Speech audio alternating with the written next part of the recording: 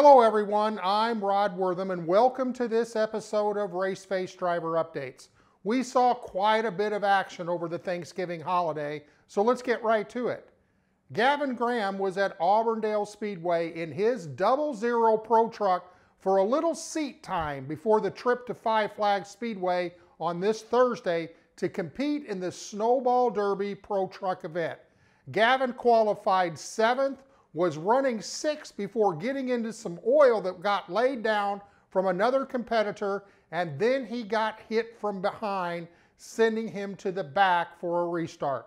He also struggled with brake issues, but was able to bring home a top 10 in ninth place. Carter Whalen competed in the Huntsville Quarter Midget Association Turkey Gobbler over the weekend in three different classes Heavy Honda, Heavy 160, and Mod World Formula. In Heavy Honda, Carter finished third in his heat race and was running as high as third in the A main before getting caught up in an incident ending his day. In Heavy 160, he won his heat race and finished fifth in the A main. In Mod World Formula, Carter made his first ever A main start and brought home an eighth place finish against much more experienced field of cars. Great job, Carter, and we are excited to have you on board for the 2021 season. Let's now head to Tucson, Arizona and the fifth annual Turkey Shoot. To say it was a successful weekend for Team Raceface would be an understatement. We start with Bryce Bezanson, who set fast time in practice, backed that up with putting his Jefferson Racing Friends of Jaclyn Super Late model on the pole. A special shout out to the series director. There were no inverts. On Saturday, Bryce started the A main from the front row and led all 50 laps, parking it in victory lane. On Sunday, Bryce again started P1 for the 125 lap feature. He led the first five laps, then settled into a tire management strategy, ran third before retaking the lead on lap 51. He stayed there until slipping back one position to second on lap 74, again trying to save his tires for a late race restart that never happened. Eventually, Bryce brought it home in second place. Check out this picture. On lap 90, a piece of concrete from the track went straight through his windshield, barely missing his head. Awesome weekend for the Snohomish, Washington driver. Fastest in practice, set on the pole, won the 50 lap feature, and second in the 125 lap feature. Almost a clean sweep. Up next for Bryce, back to Tucson Speedway for the Chilly Willy, January 22nd through the 24th. We now switch to the first annual Junior Late Model Turkey Shoot, where four of our race face drivers competed. On Friday, race face drivers topped the speed charts in every practice. When qualifying got underway, nothing changed. Grant Thompson won the pole, Jake Bowman was fourth, Cassidy Hines fifth, and Haley Constance in eighth. We now move to the two qualifying heat races later in the day. Again, nothing changed.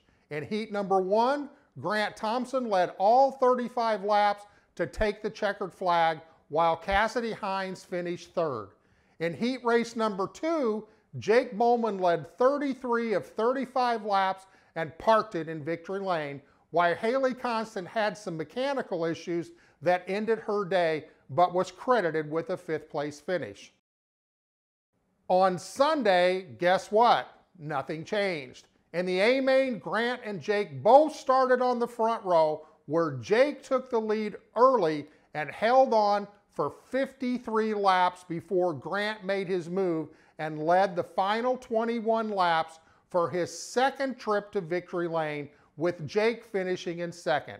Cassidy was running third with two laps to go when she got spun by another competitor, but she was still able to bring home a damaged car in eighth place. Haley Constance worked her way to sixth before mechanical issues ended her race five laps short of the finish. Great weekend for all the race face drivers. I'm very proud of each and every one of you.